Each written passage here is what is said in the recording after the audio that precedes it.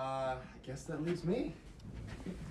I guess you all know that I've been madly in love with Emma for a few years now, give or take. It was eighth grade. Oh, wow, Colin, thank you.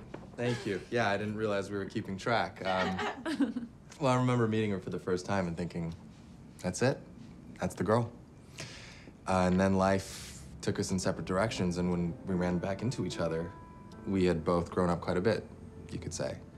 But some things don't change, and um, when I look at you now, Emma, it's like I'm right back in the eighth grade again.